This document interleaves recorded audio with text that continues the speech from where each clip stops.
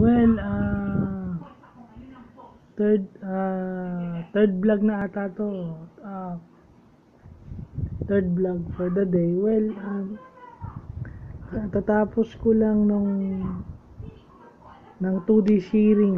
Bukas na tayo magtutuloy nung iba pa about sa computer graphics. But ah, natapos na rin tayo dun sa Salmon Interiors of ah, of Engels.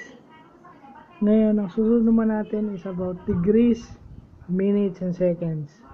Well, another trigonometry topic. But uh, definitely, uh, makakatulong sa pag-analyze natin ng given. Kasi, pag dis- DMS o degrees, minutes, second format, iba yung given kaysa dun sa usual. So, kailangan matuto muna mag-convert into degrees the DMS siya, convert mo to degrees and then degrees to DMS. So, ganun lang din yun, i-reverse mo lang para ka lang din nagpo-formula transformation.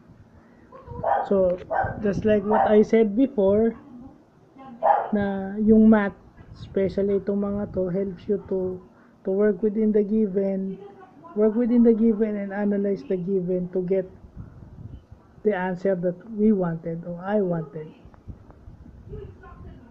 Ah, kaya hindi pwedeng ano eh pag nag ano ka kasi sa programming dapat maano mo yun eh maging habit mo yun eh maging good habit mo yun. Sa systems analysis lalo kasi dun mo malalaman kung ipipilit mo ipipilit mo o hindi.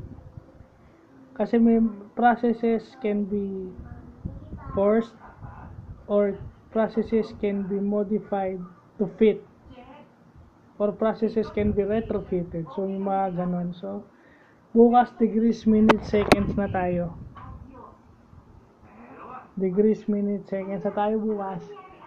So, mga ilang, ano lang din, mga siguro, hindi ko alam ilang days, but uh, definitely ito muna.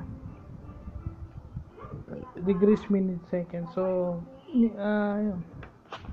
Yun lang, ah, siguro kung may kaya pa mamaya, may vlog pa mamaya. So, definitely yun muna. Kasi magtitingin na ako ng degrees, minutes, seconds eh. Sige po.